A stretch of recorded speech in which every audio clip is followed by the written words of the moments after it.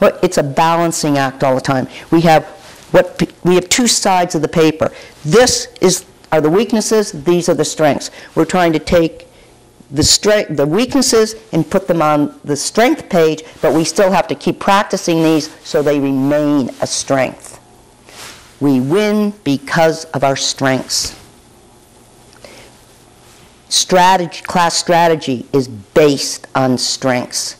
So what I'm always doing out when I'm teaching is trying to build the base up, give them more options when they're out riding. I mean, every time you're going down to a jump, there are always three options.